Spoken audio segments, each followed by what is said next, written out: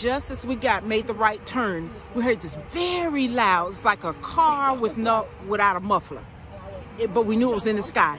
Looking up in the air, saw the helicopter go over our head, and bam, we heard it hit. We saw it hit the ground, and it exploded. Time it hit the ground. Thought it was in the field. Came out here and checked and found out it was in the median on uh, Highway 53. What did you think when you saw it?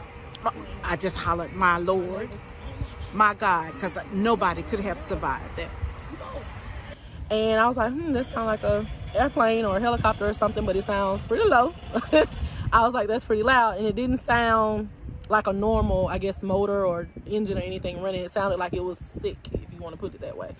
Um, and then next thing you know, when I was unlocked the door, just heard a big boom. Um, went outside, the neighbors, they were like, oh my God, you see the smoke behind your house?